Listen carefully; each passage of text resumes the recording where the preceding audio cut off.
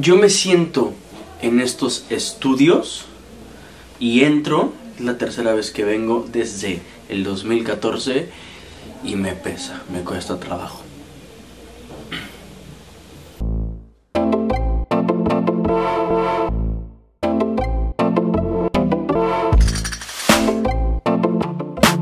Son las em, 6.58 de la mañana. Y voy a mi quinta prueba de COVID esta semana. Creo que ya quedó claro que COVID no tengo. Hay veces que quiero preguntarles eh, por qué siguen haciendo pruebas. O sea, ya no hay una pandemia, ya está declarado que no hay pandemia. Declarado. Pero siento que, o sea, me te siento feo porque pues si no hay pandemia ellos no tienen chamba. Entonces, entonces ¿qué? Qué belleza.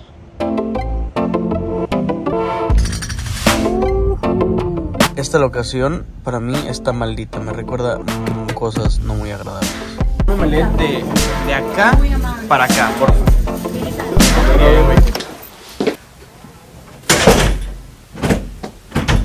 No, se cerró el camerino. ¿Quién tiene la llave?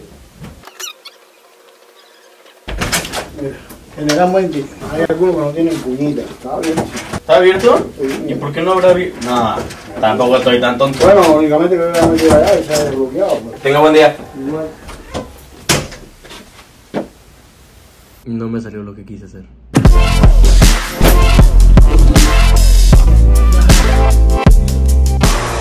Creo que sí te puedes dejar ir más macizo, ¿eh? Pero sabes que este es Prince Royce, ¿no? Sí. Pues él trabajó conmigo en Nickelodeon. Pedo la cantidad de energía que me da ese café. Ven, o sea, no es que sea malagradecido, no lo soy. Eh, fue parte de mi camino, fue parte de lo que tuve que hacer como actor, pero honestamente no disfruté nada esa novela que grabé aquí. Haciendo tu video para no interrumpirte. No, no, no, mejor de hecho ya saliste. Oh my god. Todo esto es parte. Tú estás de extra hoy, papá. Extra con sueldo de reparto. No, mentira, con sueldo de, de lente. De reparto. Con camioneta de BM. Dígame. ¿Qué tienes atrás a los camarógrafos? Y todo el humo le está cayendo. Ah, discúlpenme, güey. Mientras se pueda. Fueron nueve meses que no disfruté nada y no sé si tuvo que ver con la novela que grabé en estos estudios o con la vida que estaba pasando o con varias cosas, pero en una combinación de todo eso hizo que de verdad fuera una época muy difícil en mi vida y yo cada que regreso a estos estudios me acuerdo de lo que sentía y no me gusta. ¡Hola, Barbarita! Buenos días. Hola señora psicóloga. Él es Pato, él es Ricardo. ¿Cómo funcionará esto? Es que sí tengo una duda en general. Papi, pero anda por un centro de ginecológico, una vaina de esa. Esto no es, esto es televisión, hermano. Esto es una productora. Yo me, me- yo me meto a la historia, güey. Yo me meto a la historia. Literal. Y siéntete actriz, siéntete. Pues bueno, de los del río no cuentas. Estos squats, come on. Oh, yeah. Ok. No, aparte me duele la pompita porque ayer hice. ¡Ay, excusas! Yo aquí estoy como quiera. Hasta abajo, mira. Ándale, papito. ¿Qué es eso de personal trainer? La otra, la otra, la otra. No, es más difícil si no lo agarro. Ah, Órale, Sí, es más difícil sin agarrar, es cierto. ¡Wow! ¡Wow! Muy bien. O voy a comprarme ropa o... O voy a comprar cosas que necesito para la cámara. Salí temprano. ¿Qué hacemos? Este es con el micrófono. Ni lo escucho. Quiero buscar pretzels que me hagan engordar todo. Los quiero ahorita. No sé dónde están. Ah, no hay. Son esos. Coming soon. Baking soon. Lo estaba buscando, cara. Mi intención era enseñarles todo lo que compré, pero no. Mi intención ahorita es... Acabo de tener una experiencia muy cabrona. Vine a comer a mi restaurante favorito. Estoy muy emocionado.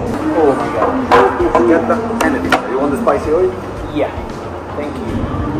Esto no puede ser verdad. No, no, no, no, no, no, no, no. Brusqueta, o sea, ver el pan. El pan es como, como de dona. No, no, no, no, no. La mejor, la mejor pizza que vas a probar en tu vida. Si esta pizza fuera humano, sería insoportable. Literal, he estado teniendo un momento religioso desde que empecé a comer esto. De hecho, explicar más. Yo viví en un departamento muy parecido a este en Silvana Sin Lana. O sea, muy parecido, me refiero a que era el mismo edificio. Era ocho pisos abajo que este exactamente en esta hilera de, de departamentos. Está aquí abajo. Aquí abajo vivió Patito de hace 2010, no, de- o sea, del 2016, cuando era Jorge Gallardo. eh, vivió aquí abajo. Y aquí enfrente hay unas pizzas que se llama Pizza Pazza. Yo la conocí un día con Vince Miranda y con Marcela Guirado. Nos sorprendimos bastante. Hasta el primer día que llegué a grabar Juego de Mentiras, fui con mi hermano y dije, ok, ya sé por qué me acuerdo de estas, me, ah, me enoja lo buenas que están, me, me ponen mal. Pedí pizza fresca, una bebida de cebada, la brusqueta. Nel. Hone- ya, o sea, ya, ya poniendo pies en la tierra, honestamente, hace mucho no disfrutaba tanto morder algo. Bien, estaba viendo un edit que me hicieron.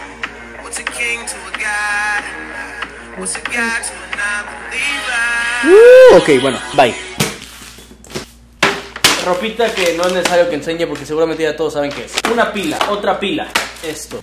Una SD, ya saben, ¿no? Ahora, si me disculpan, Me tengo que tirar porque comí mucho.